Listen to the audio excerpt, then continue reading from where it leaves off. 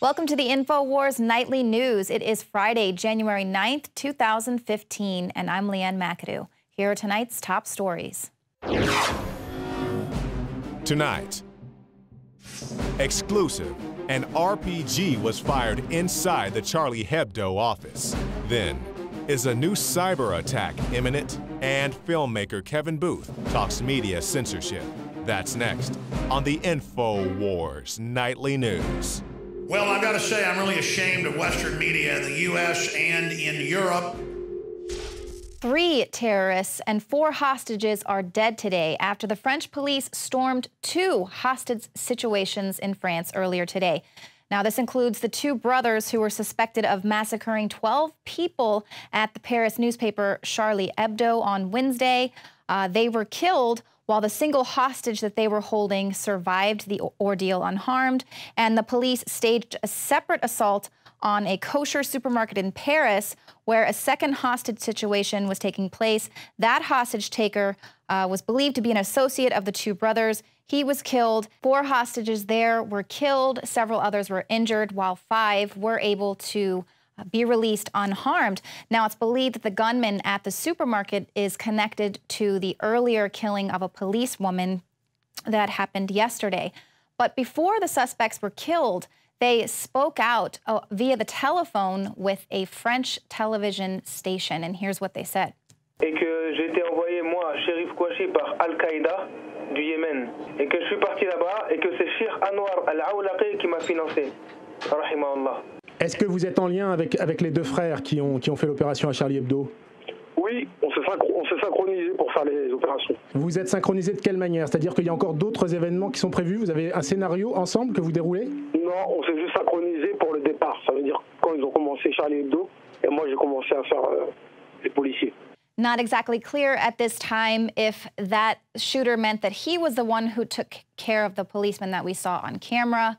Uh, perhaps that's why the other suspect that was named turned himself in earlier uh, this week. But Al Qaeda in Yemen is now coming out and saying that they claim to have directed this attack, um, tweeted out actually that it was revenge for uh, the honor of Muhammad. And also, it was interesting that one of the suspects there, Saeed, was specific to point out that he had met with Anwar al Awlaki, and Reuters is also reporting that he did indeed meet with Anwar al Awlaki, the US born and web savvy, influential international recruiter to the Al Qaeda movement. So, of course, this story is just getting curiouser by the minute. It's not just the fact that these seemingly well trained jihadists who were so calm that they were able to go back and pick up a shoe. Meanwhile, one of them left their ID in the getaway car. Very, very suspect. But now it's turned out that they have also been in contact with someone who spent a little time having dinner at the Pentagon. Here is our writer, Mikael Thalen, with more. This is Mikael Thalen with Infowars.com here with some breaking news. If you look at Reuters right now, they have an exclusive report from an intelligence source in Yemen. Turns out one of the brothers involved in the Charlie Hebdo shooting had actually in 2011 met with uh, Anwar al-Awlaki. And of course, as many of you know, Anwar al-Awlaki met with high-ranking military officials at the Pentagon only months after 9/11. And uh, of course, later in 2002, it was later learned that the FBI actually had him in custody due to his ties to Al Qaeda in the Arabian Peninsula. And it turns out that he was in custody and let go. So now, if we fast forward again, we have Lieutenant Colonel Anthony Shaffer on the show in 2012. He exposed the fact that he was clearly working for the FBI. He was a triple agent also involved with the CIA. And so, what makes it even more obvious is the fact that if you remember the uh, Christmas Day bombing in 2009, or the attempted bombing by Umar Farouk Abdulmutallab, the so called underwear bomber, that turned out to clearly be a government run operation. And we know that um, Anwar al-Awlaki was running this guy. Kurt Haskell famously came on our show. He was on the flight. He saw what was going on. And later, the State Department, Undersecretary of State Patrick Kennedy, came on and said, yes, we tried to flag the underwear bomber. We didn't want him on the flight, but a quote unknown government agency demanded that he get on the flight. So clearly the government was running this. So what this shows is that clearly he was meeting with someone with high connections to the United States government. Now, I've talked to Lieutenant Colonel Anthony Shaffer, and he believes that um, Anwar al-Awlaki ended up triple crossing the federal government, and that's why they took him out with a drone strike, as many of you know, in 2011 as well. So does this mean that the shooters are connected to intelligence agency? Does this mean that there's government involved with this? We don't know, but this is definitely a major point that needs to be shown that clearly he had ties to someone who had ties to the FBI, the CIA, and really the whole intelligence uh, officials. So if you want to keep following us for more breaking news on this, head to Infowars.com. So now, of course, almost immediately it's coming out that the government knew about these suspects beforehand for quite some time, yet these attacks were still able to take place. The massive NSA surveillance wasn't able to stop these attacks. Of course, it's the same old story, and instantly we're seeing calls for over militarization, saying that situations like this call for an over militarization of the police, more NSA surveillance, when indeed it didn't actually stop these attacks from happening. Uh, but it's just that's what it is. use these crises to call for more tyranny. And that's what we're seeing trying to keep everyone in this state of constant fear over these terrorists while they're not actually doing anything to stop it. Now, this is coming out of the British Security Service, of course, taking advantage of this hysteria. Uh, this is the Director General of MI5. Uh, Andrew Parker, he's warning that Khorasan will soon strike. This Khorasan, this elusive group that just sort of popped up out of nowhere. Uh, he says the MI5 boss told members of the Royal United Services Institute that a group of core Al Qaeda terrorists in Syria is planning mass casualty attacks against the West. So the likely targets will be transit systems or iconic targets to inflict large scale loss of life. So, this is the aim keeping people scared of terrorist groups everywhere. Could they stop these potential jihadis beforehand? Absolutely. One of the ways they could do that is by not arming the rebels there because, like we've reported before, these arms are just getting into the wrong hands. And here we have these suspects who spent some time in Yemen are apparently able to get their hands on some RPGs. Now, this is a high level military source in France who's associated with the French National Police confirmed exclusively to InfoWars that at least one rocket propelled grenade was detonated inside the, the Charlie Hebdo building. Uh, the French National Police kept quiet about the RPG to keep from scaring the public. And it also, of course, explains why they released very few images from inside the office. So the suspects were known to the government officials for years, able to travel from Yemen, get their hands on some RB RPGs, um, but of course are never caught and are allowed to carry out these attacks. We've seen this so many times before, time and time again. And when these suspects were first identified, uh, there were conflicting reports of if they had been to Yemen, had they not. And then, of course, now it comes out that they did, and now they have ties to the Pentagon. What else did we know about these suspects?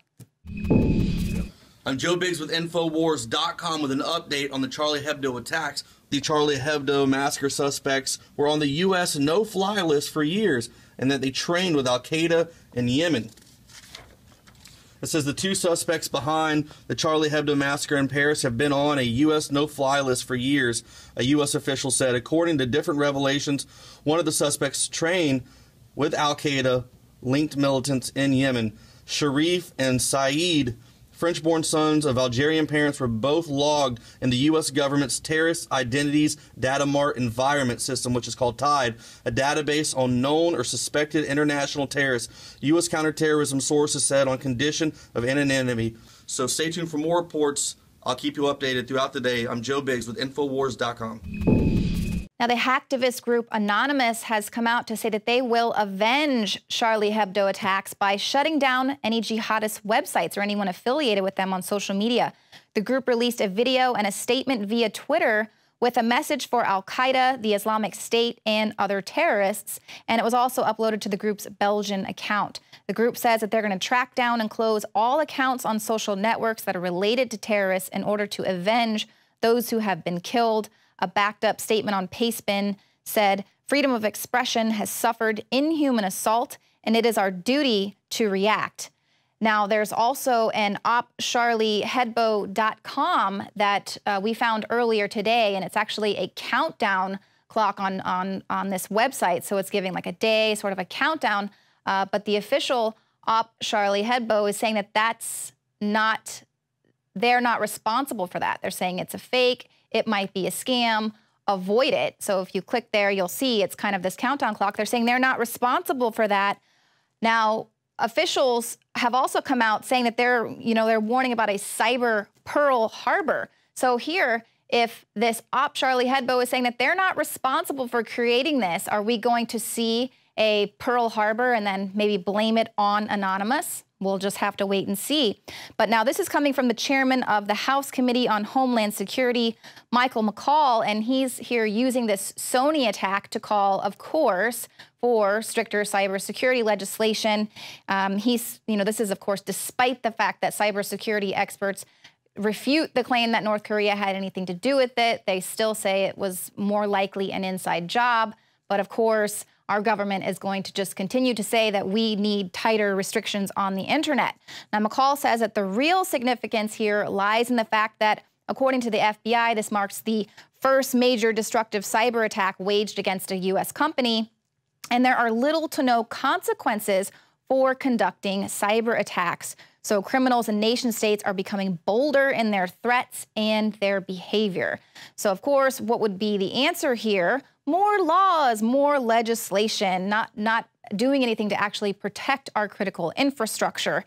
Now, Snowden kind of alluded to this as well. Uh, he was being interviewed for an upcoming, I believe, a PBS documentary, and he said that the United States' efforts to dominate cyberspace maybe maybe misguided and are ultimately damaging to the country's national security. They're playing the wrong role basically. The NSA is actually standing for the National Surveillance Agency rather than the National Security Agency. Uh, he's basically calling for the NSA to defend us from internet-based attacks rather than going out and targeting foreign countries and exploiting uh, vulnerabilities because this is this is if the foreign countries that we are attacking take this similar cyber posture and start trying to attack America's critical infrastructure, we have a lot more to lose because we are so dependent on the internet. Our tech industry is basically the backbone of America.